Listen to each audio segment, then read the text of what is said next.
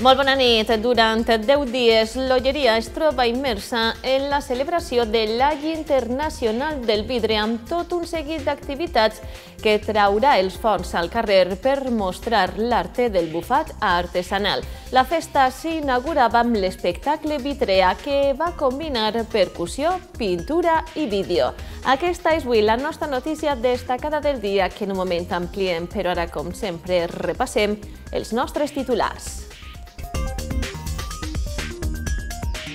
L'Olleria celebra l'Any Internacional del Vidre amb un extens programa que s'inaugura amb un espectacle de percussió, pintura i vidre. Firauto Ontinyent, ja convertida en un referent comarcal, arriba a la novena edició amb 18 expositors i 250 vehicles. Xàtiva adequa i senyalitza la senda dels socors que dona accés a la part posterior del castell. La mostra Mirades a la Memòria reuneix en Aielo de Malferit obres d'art contemporani de quatre artistes de la col·lecció de la Generalitat Valenciana. El Palomar acull el desè concurs del Cant del Tord organitzat per a Paval i Amics del Parany de la Vall d'Albaida. Com els comentàvem a l'inici del nostre informatiu, el vidre ha marcat la història de l'olleria i en aquest 2022, declarat Any Internacional del Vidre, el poble no ha perdut l'ocasió per sumar-se a aquesta celebració amb un seguit d'activitats que s'estendran fins aquest diumenge, dia 13. Nosaltres hem assistit a la inauguració i al posterior espectacle de nom Vitrea. El 2022 fou declarat l'any internacional del vidre i si hi ha un poble vidrier a les nostres comarques, aquest és l'Olleria, que atresora aquesta llarga tradició des de l'alta edat mitjana i de forma continuada. Per aquest motiu i durant 10 dies, la regidoria de turisme de l'Ajuntament i l'Associació d'Artesans del poble han organitzat un programa variat i adaptat a tots els visitants. Una festa que s'encetava el passat divendres 4 de novembre amb el discurs d'inauguració, el reconeixement als vidriers locals seguit de Vitrea, un gran espectacle de percussió electrònica, pintura i vidre al Teatre Goya.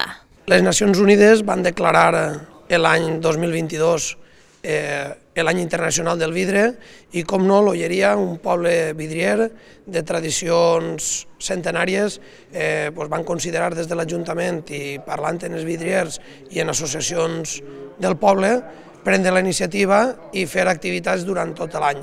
Hem fet alguna activitat i hem concentrat durant aquesta setmana doncs, totes les activitats més commemoratives per a donar-li un poc més d'importància a aquest any internacional i sobretot a la nostra tradició vidriera del poble de l'Olleria. El prestigiós percussionista de Canals, Joan Soriano, ha estat l'artífex d'aquest espectacle, on garrafes, gots, copes i botelles es converteixen en instruments de so específic i cristal·lí que ha atret a molts compositors. Aprofitant este fantàstic eh, homenatge que es fa al vidre i, als vidrers d'olleria, pues fer un poc eh, això, mostrar totes les possibilitats sonores i, i musicals que té el vidre i el cristall i al mateix temps eh, Pepe Castells que pintarà un motiu de vidre a, a propòsit de, de lo que és la cultura i la tradició del vidre a l'olleria i, i bé, mm, esperem que siga una experiència vitrea, eh, fantàstica per a tots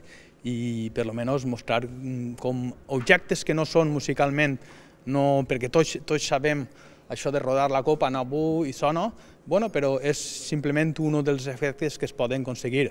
El vidre és tímbricament molt ric i el cristall hi dona una immensa gamma de possibilitats i si a això li sumem la tecnologia, com és avui normal en totes les peces de música actual, les eh, possibilitats es multipliquen fins a l'infinit. I tot acompanyat amb la creació d'una obra pictòrica en temps real, la càrrec del xativí Pepe Castells. És pintura sobre en el tema de lo que és el, el vidre i tema de, de l'olleria. El que intenta és també acoplar ahí peces del, del cas molt, molt significatiu vale? i, i ha donat molt, com peixets de vidre que tots n'han tingut damunt de, dels mobles i, i bueno, copes, porrons, tot això anirà reflejat en el quadre. El quadre té 2,20 però no 50. Ahí n'hi ha, molt, ha molt que rascar i ara. Ho tinc molt preparat, ho tinc molt estudiat perquè això és com una obra de teatre que el que té eh, ja l'escenari, la veritat, ho, ho té que tenir molt clar. Entonces tinc colors preparats, tot, tot preparat perquè en 40 minuts se'n va tot. Un espectacle que alçava el teló a un extens programa d'activitats que s'estén fins al diumenge 13 de novembre per a visibilitzar una de les senyes d'identitat del poble de l'Olleria.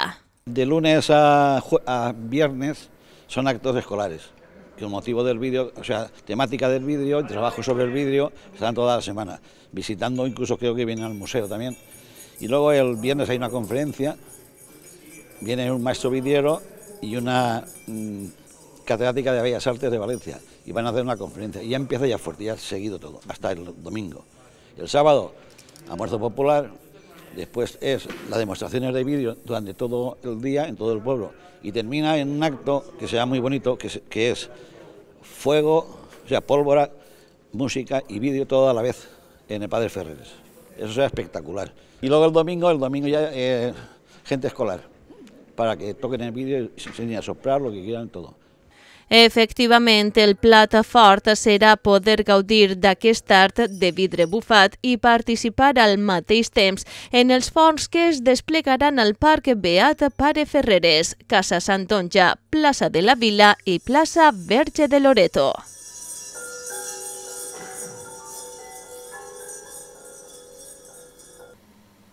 Fira Auto, la fira de l'automòbil d'Ontinyent, arriba el cap de setmana del 18 al 20 de novembre, junt amb la fira d'atraccions. Enguany participen 18 expositors i al voltant de 250 vehicles. No faltaran els sortejos, dos viatges i 1.500 euros en vals descompte. Fira Ontinyent compleix 11 anys i arriba a la novena edició, convertida en un referent no sols per a la comarca, sinó per a tota la província.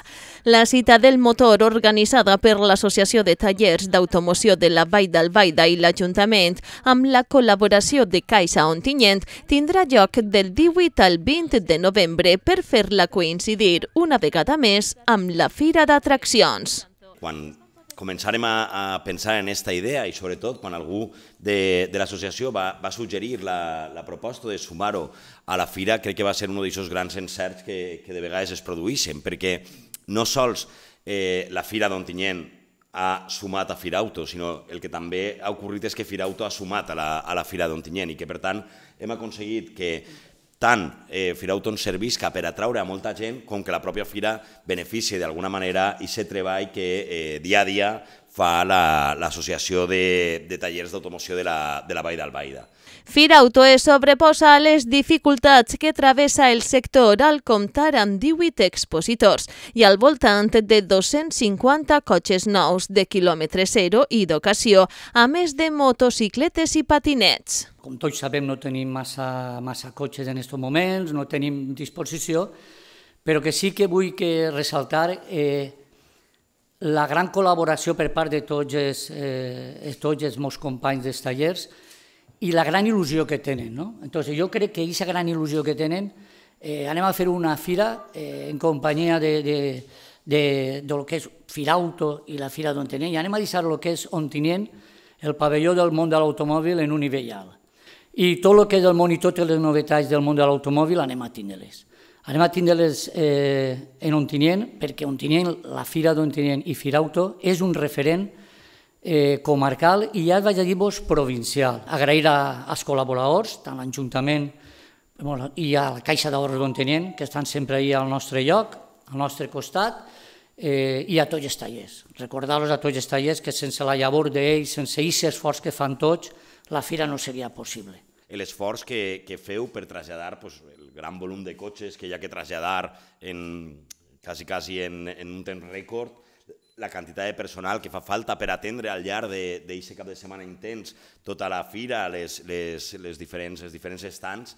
I sobretot jo crec que la il·lusió i, i, i, i l'empenta que, que fiqueu per cada any no sols tindre aquest vehicle d'ocasió, no sols tindre eh, pues, els, els vehicles normals, sinó a més intentar sempre sorprendre a la gent amb, amb les novetats últimes de les marques i amb també les novetats del, del vehicle elèctric. No? D'ahir que crec que eh, Firauto siga avui un referent eh, com es dia, al conjunt de la, de la província i el conjunt també de, de totes les comarques veïnes que aprofiten aquesta ocasió i que fins i tot, eh, a mi em consta, no? que hi ha molta gent que espera fins a, a les dates de la fira per poder veure quines oportunitats troba o quines novetats eh, ofereix el mercat. Des de l'Ajuntament no podíem fer altra cosa que, que recolzar-los un any més i esperem que, que, siguen, que siguen molts més perquè ja és una fira que està consolidada hacia la ciutat i que és un referent també per als nostres veïns i veïnes per a tota la comarca.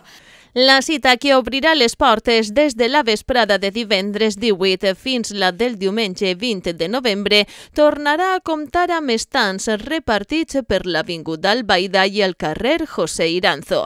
A més, els visitants podran participar en el sorteig de dos viatges per a dues persones a la Costa Blanca i 1.500 euros en vals descompte. Anem a fer 15 sortejos de 100 euros tots els tallers de l'Associació de, de, la Vall d'Albaida. Cualquier persona que leísca este número podrá anar a reparar y eh, en este vale pagar cualquier reparació en cualquier taller que estigui associat a, a la Vall d'Albaida. Així, Firauto es suma a la resta d'atractius que s'estan preparant per al cap de setmana de la Fira d'Atraccions. La senda dels Socors, la que puja fins a la porta de mateix nom que trobem a la part posterior del castell de Xàtiva, és una de les més transitades pels excursionistes. Es trobava molt deteriorada i ara s'ha adequat i senyalitzat per fer-la més accessible i segura. L'Ajuntament de Xàtiva ha invertit 7.400 euros en l'adequació i senyalització de la senda d'accés al castell a través de la Porta dels Socors, amb la intenció de seguir apostant per les rutes saludables municipals i facilitar l'accés als excursionistes i visitants. Entre les actuacions dutes a terme a banda de la col·locació de senyals a l'inici de la senda, destaca la col·locació de desaigües naturals, desbrossament, eliminació de pedres soltes i la instal·lació d'alguns escalons amb pedra natural. És una de les sendes que més eh, utilitza la gent quan ve al castell, quan teixa la senda de socors. Ostres, que n'hi ha una, una senda i la baixen, claro, tenia una senda que estava molt degradada perquè les inclemències del temps, així, quan ve una dana o qualsevol cosa d'estes, les, les, les aigües fan les seues rieres i tot això s'ha adequat, s'han fet desaigües i damunt el eh, bo que té és que havem llevat pues, molta, molt de canto rodat, que feia que la gent poguera esbarar-se, etc etc. Hi ha alguna barana i s'han fet alguns escalons perquè la gent, quan sobretot puja, pues, pugui pujar en, en una certa tranquil·litat de que no se va caure ni res. O sigui, i, i, i a part havem ficat ja senyals baix perquè quan la gent vagi per, per els camins de baix sàpien que així n'hi ha una senda que puja a la Porta de Socors, que és una porta molt emblemàtica del castell. I és una senda que quan el dana va fer molt de mala. Allà se van fer unes regagores molt grans i ara s'ha fet perquè l'aigua circule per un altre costat i ahir per almenys han ampliat la senda, han llevat moltíssima brossa i s'ha quedat molt bé. Aquesta actuació és suma a les ja realitzades als darrers mesos respecte a la col·locació de senyalítica per arribar a destacats punts del terme municipal com el Portet, la Creueta, Sant Didac, el Calvari, el Camí de Sant Antoni, les Arcadetes, la Cova Negra i la Costa del Castell.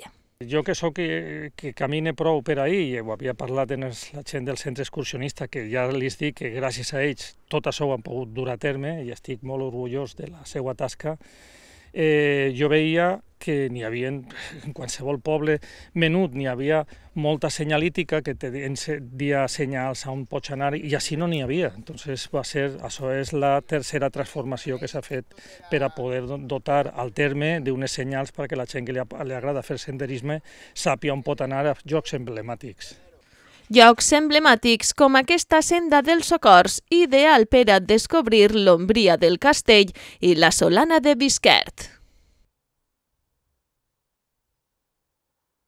Mira a la memòria terra en Aielo de Malferit, on romandrà fins el proper 8 de gener. La mostra eh, exposa obres de quatre artistes que formen part de la col·lecció d'art contemporani de la Generalitat Valenciana. El director del Consorci de Museus, José Luis Pérez Pont, i l'alcalde d'Aielo de Malferit, Juan Rafael Espí, juntament amb la gestora cultural d'exposicions, arts plàstiques i visuals d'Aielo de Malferit, Jussi Juan, han presentat l'exposició Mirades a la Memòria, art contemporani de la Generalitat Valenciana, que reuneix obres de quatre artistes que formen part de la col·lecció. Ana Teresa Ortega, Bleda i Rosa, Irene Grau i Pilar Beltrán. Una mostra que forma part de les tres exposicions programades pel Consorci de Museus de la Generalitat amb motiu del nomenament d'Aielo de Malferit com a capital cultural valenciana. Una exposició que té la fotografia com a eix fonamental, treballs que a través de la fotografia mostren la relació amb la memòria, amb la recuperació, amb el record, amb el paisatge, amb l'entorn Després de posicions de resistència els mesos de juny, juliol i agost i altres relats durant setembre i octubre, aquest mes de novembre pren el relleu la tercera mostra programada pel Consorci de Museus a Ielo de Malferit. Fins ara eh, les exposicions que hem tingut eh, ha sigut un èxit de, de visites no? I, i per tant esperem que aquesta també és un format nou com, he, com hem dit i com es pot veure, és un format de fotografies que ens transmet realitats eh, actuals, realitats de, i vivències de lo que els seus autors ens han, ens volen transmetre i d'aquest punt de vista doncs, jo penso que va ser tot un èxit també eh, pel format que en aquest moment té i eh, la disponibilitat que hi ha a la sala doncs, eh, jo crec que, que va agradar moltíssim també a la població. D'aquest punt de vista doncs, donar les gràcies al Consorci de Museus en tota la seva tasca d'apropar la cultura plàstica, en aquest cas, eh, als pobles que estem més allunyats de, dels centres eh, tradicionals de, de la cultura o de les capitals i per tant pues, agrair-los aquesta tasca i agrair-los aquest detall de, de fer arribar la cultura a un poble com és Ayala en este, en este cas. No només ens ha obert les portes a totes les veïnes i veïns d'Ayalo i de la comarca a conèixer les creacions eh, més contemporànies d'artistes valencians, sinó que també ens està facilitant el que ens apropem a les pròpies institucions, en què coneguem eh, el que és el l'ecosistema de l'art, eh, poder entendre'l i així poder optar a més possibilitats i veure la, viure la cultura de forma més plena i propera.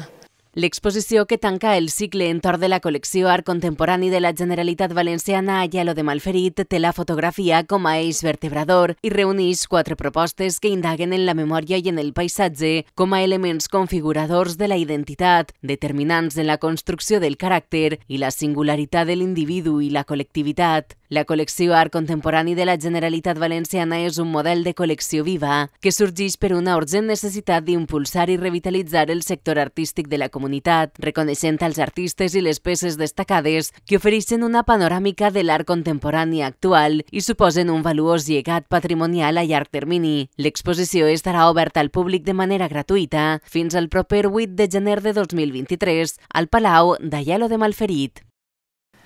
A l'albada del dissabte, el Camp del Tort va envair el paratge de la Font de Sis del Palomar, un sisè concurs organitzat per Abaval i l'Associació de Paranyers de la Vall d'Albaida, que fou tot un èxit i on no faltaren de nou les reivindicacions. La Font de Sis del Palomar va ser l'escenari del desè concurs del Cant del Tort del passat dissabte 5 de novembre, una trobada competitiva organitzada per l'Associació d'Amics del Parany de la Vall d'Albaida i l'Associació de Paranyers de València, Catalunya, Aragó i Balears, a Paval, amb el patrocini de l'Ajuntament del Palomar i la Mancomunitat de la Vall d'Albaida. El concurs, eh, per una banda, ha eixit molt bé per la col·laboració de, del, de, del Paranyero, pròpiament, que és el que fa aquest esforç preparant els animals i cuidant-los, i com no l'ajuda indispensable de la part política social del poble en el qual ens faciliten el lloc i bueno, tota l'organització del, del concurs, en aquest cas el Palomar, i bueno, molt agraïts en ells per el que ha suposat per l'associació poder celebrar aquest concurs. Fem ara un concurs de cor pues, per veure les seues habilitats, qui és el que més canta, la nitidesa del cant, la repassada del cant, les notes que trauen, i d'ahir a ix un jurat ja trau el que és el primer, segon i, i, i al igual que tots els components. Una de les particularitats del concurs és que es fa cantar al tord en novembre, fora del seu temps natural, que és la primavera. Per això els paranyers utilitzen certes tècniques. Així el cant del tord, nosaltres que canten ara en el mes d'octubre o en el mes de novembre, eh, això ho portem heretat de francesos, francesos o és italians, i entonces lo que fem és, és no, apliquem un fotoperiodo, o sea, el llum, a base de llum solar dia, perquè el, els animals, el calendari que tenen és el solar, modifiquem, el modifiquem per mig de llum i entonces produïm ara que canten. Ells creuen ara que estan en el mes de març, per la quantitat de llum dia, calculen la llum dia lo que és, i, la, i, la, i la nit, el que és la, la foscor, i a partir d'ahir, per això estan ara cantant.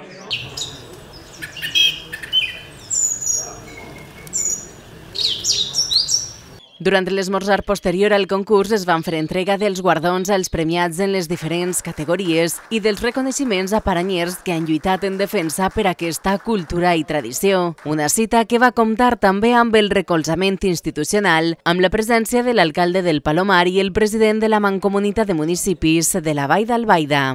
El Palomar sempre ha estat al costat d'Esparanyet perquè és una cosa que em ve de família, sempre ha estat al costat del tort, jo crec que és una, una tradició que va perguent-se per l'edat i per les circumstàncies o per quan es produís la, la casa, dir, perquè pues, la societat ara visguent d'una altra manera com es vivia antes, però jo crec que aquesta gent es deu de recolzar, es deu d'apreciar el que fan, de dir, com avui veure cantar els torts de manera natural i conforme ells saben fer cantar els tots perquè acudisquen els tots, jo crec que és un arte que n'hi ha allí, vulguem demostrar que, que, que és una casa també sana, com, com l'escopeta, com qualsevol casa, jo crec que és digne de que, de que facin esta, esta demostració i pues, sempre els ajuntaments hem d'estar al costat d'aquesta gent o de qualsevol associació que vulgui promocionar lo tradicional, que moltes voltes la gent no coneguem, jo crec que molt agraït que vagin elegit en guany Palomar. La veritat és que és un plaer estar així acompanyant a, a Paval en, esta, en este dia, no? en, este,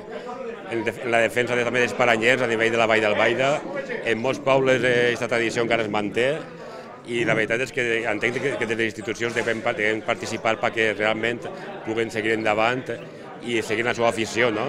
Afició que realment té molt que veure en el món rural, en la nostra història, eh, i que admire a aquesta gent que està lluitant contra, contra grans contra grans problemes val, per mantenir viva una tradició que realment des de, insistir, pobles de la Vall de la Valla sempre ha estat ahí i crec que entre tots hem d'intentar pues, que es mantinga i apoyar-los en el que siga. Els professionals no van desaprofitar l'encontre per a posar de manifest les seues necessitats respecte al món del tord, i és que ja han sol·licitat a la Generalitat Valenciana que permeta les proves del cestomalla, una tècnica proposada com a alternativa a l'envisc. La reivindicació nostra és poder atrever a practicar la nostra modalitat del parany i eh, en aquest momentet estem parlant del cestomalla, eh, sabien tots que estava se pergué el tema del xui de, del Visco, la Liga, ja estem en Cesto Maya, que bueno, també estan els tribunals i reivindiquem aquesta tradició del poble, del món rural, com altres de poder eh, practicar-la i estar socialment tota la gent unida i, i celebrar-lo en el parany, ni menys. Aquest concurs demostra que la tradició del parany continua molt viva i és molt més que una modalitat de caça, és cultura dels pobles de les nostres comarques.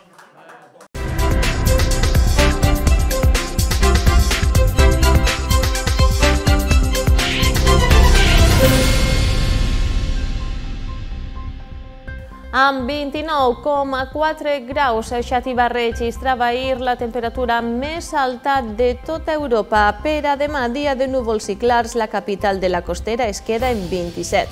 Ontinyent en 25 i Enguera en 26. Les mínimes oscil·laran entre els 12 i 13 graus. Els termòmetres seran també molt agradables a les comarques costaneres. Gandia registrarà 15 de mínima i 24 de màxima i Denia 13 i 26 graus. En l'apartat de col·laboracions dels nostres espectadors, Cel Blau veiem en aquesta panoràmica de Bocairent presa per Patricio Sanz. autor també de l'Albada ennuvolada vista avui a la platja de Daimús. De Josep Gandia en tenim moltes imatges de fontanars, dels cels clars i temperatures baixes al matí del diumenge. Un oratge més assolellat al matí del dissabte i aquesta espectacular lluna en fase creixent, visible al 90,2%. I ja saben que si volen col·laborar en aquesta secció només han d'enviar les seues instantànies del dia al correu info arroba comarcal.tv. I també ja saben que per estar sempre informats han de visitar la nostra pàgina web comarcal.tv. I així com sempre acomiadem aquest informatiu. És tot, ens veiem en properes edicions.